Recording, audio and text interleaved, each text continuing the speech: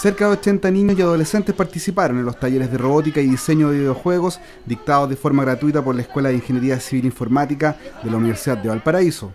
La actividad dirigida por el profesor Roberto Muñoz y a cargo de estudiantes de los últimos años de la carrera se desarrolló en los laboratorios de la Facultad de Ingeniería.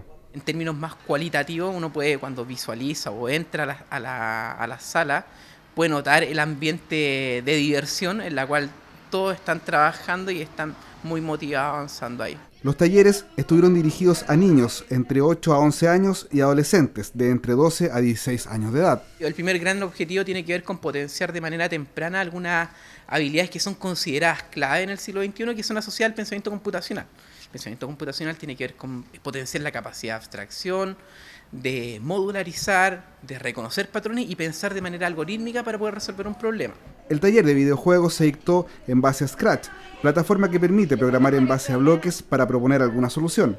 Mientras que el taller de robótica se desarrolló en base a robots realizados por la empresa Lego para fines educacionales, los cuales se ensamblan y se pueden programar. Eh, estos talleres significan para la escuela una, una de las tantas formas que tenemos para vincularnos con nuestro entorno.